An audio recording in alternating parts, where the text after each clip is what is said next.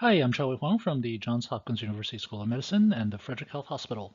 Today, we're going to do a countdown of the top three most viewed videos from 2023. I've included links to the videos in the comment section below. And the number three most popular video of 2023, uh, stent stripped off balloon. Now what? All right, take-home messages. Um, a stent becoming stripped off a balloon is never pleasant. Uh, we went over a simplified approach for how to handle this situation. In brief, uh, if the stent is still on the wire, uh, deploy the stent. Uh, if it's not on the wire, crush the stent.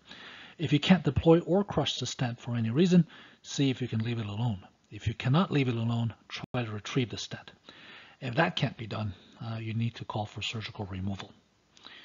And finally, uh, remember to listen to your staff and to your fellows. Uh, never be too proud. They often have good ideas. And number two, how to nail the ostium. All right, uh, take-home messages. Uh, the floating wire technique is a quick and fairly easy way to systematically and reliably locate the ostium of a vessel. The ostium is often a lot farther back uh, than you think. Um, there is a very low risk of a geographic miss of the ostium, and there is no guesstimating or extra contrast injection involved. Uh, the main drawback is the possibility of actually hanging too much stent out into the aorta.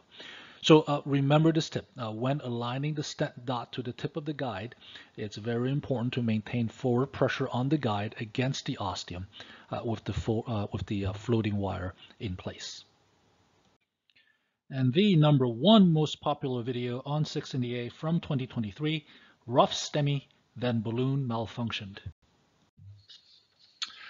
All right, uh, take-home messages. Uh, a, a, balloon that doesn't deflate is a very rare and potentially catastrophic uh, complication. It's often due to a defective and sometimes kinked uh, balloon catheter shaft. So if you kink your balloon catheter shaft, just call for a new balloon. Um, but if you run into a situation uh, where uh, your balloon fails to deflate, just remember this approach. Step one, uh, try again with a new endoflator and stopcock system. Step two, switch to saline in the inflator. Uh, infuse the saline into the balloon to decrease the viscosity of the contrast in the balloon and try deflating again. Repeat this process several times. Step three, try rupturing the balloon by inflating it beyond burst pressure. Usually more than 30 atmospheres will be needed and obviously have a cover stent ready uh, just in case of vessel perforation. And finally, step four, uh, try to puncture the balloon uh, with a stiff wire or the back end of a coronary wire. Uh, remember to use a guide liner or an inflated over-the-wire balloon uh, to minimize the chance of wire perforation and have a cover stent ready. And finally, if uh, all else fails, uh, you may need mechanical circulatory support and emergency surgical removal. Happy New Year, everybody. Thank you for supporting this channel, and here's to much health and happiness in the new year.